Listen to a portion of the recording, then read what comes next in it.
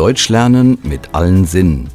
So der Titel eines Kursprojekts für fremdsprachige Schüler an der Hermann-Ehlers-Schule in Wiesbaden-Erbenheim.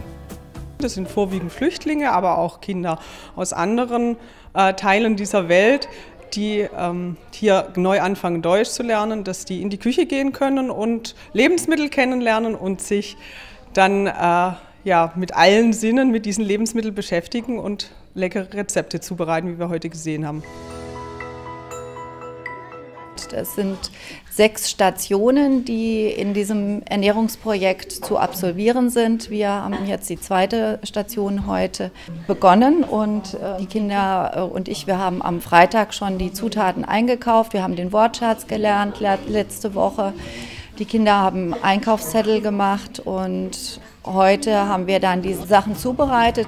Unterstützt wird die Aktion vom Rotary Club. Dann haben wir gesagt, gut, das finanzieren wir. Wir finanzieren euch die Lebensmittel.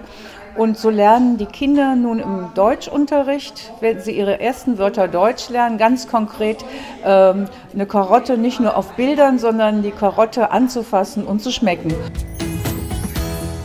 In der Küche, wir machen Schneiden und machen viele Essen. Gurken und Karotten und äh, äh, Schnittlauch und sowas. Unterstützt von bereits bestehenden Lehrmitteln könnte das Projekt an weiteren Schulen Schule machen.